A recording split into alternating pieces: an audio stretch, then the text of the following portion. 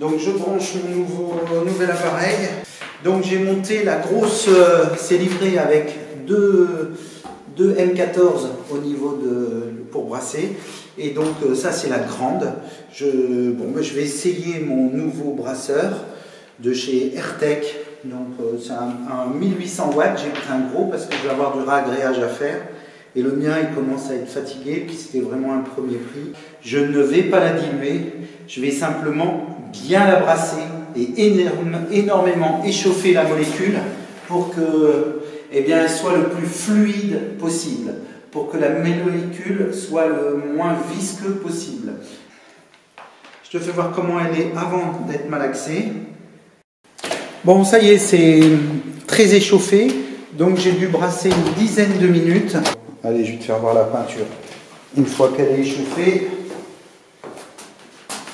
ça donne ça. Bon, tu ne vois peut-être pas la différence, mais elle est un peu plus fluide. Donc là, aujourd'hui, je vais peindre avec le Titan 440.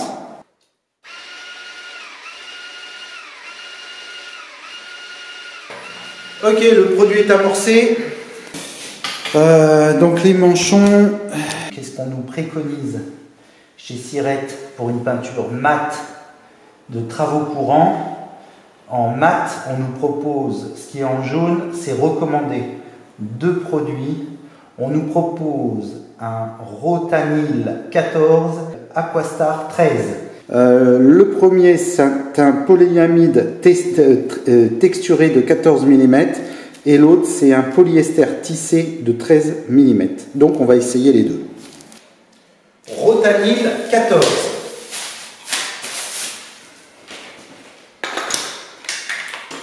Donc ils sont dans plusieurs dimensions, on verra ça. Moi ce que j'ai besoin, c'est un 18 parce que mon matériel est en 18. Euh, donc on va mettre une buse et un porte-buse. Donc le jet roller, on le monte avec un produit Graco. Donc il existe plusieurs types de buses. Euh, les FFLP et les LP, ce sont les nouvelles technologies en 120 euh, bars. Moi, la LP, j'en ai pas en ce moment. Euh, j'en ferai rentrer le mois prochain. Mais comme j'ai acheté des rouleaux, ben, je peux pas tout acheter. Donc, je te propose d'utiliser une Rack X PPA. Donc voilà, c'est la bleue, on va dire. Le seul problème de ce montage, c'est que là, normalement, le jet roller, on ne doit pas dépasser les 120 bars parce que tu, il n'est pas prévu pour monter à 200 bars euh, du fait que ça perche, que tu aies une, traction, une flexion. Donc, euh, ce que ce qu'on m'a expliqué, hein, c'est que en fait, il faut pas trop euh, monter en pression.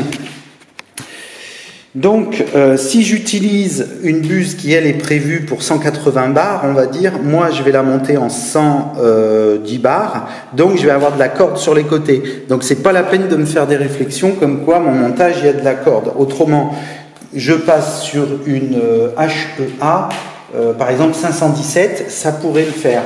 Bon, on va essayer la RAC X PPA 517. Cette vidéo est terminée, merci de l'avoir regardée jusqu'au bout. Pour voir la suite, c'est ici. Pour voir la playlist complète, c'est là. Et évidemment, abonne-toi, c'est juste ici. Salut